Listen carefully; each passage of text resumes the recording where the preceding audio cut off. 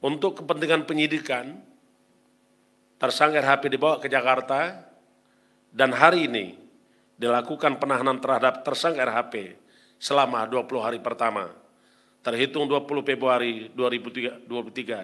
sampai dengan 11 Maret 2023 di rutan KPK pada Gedung Merah Putih.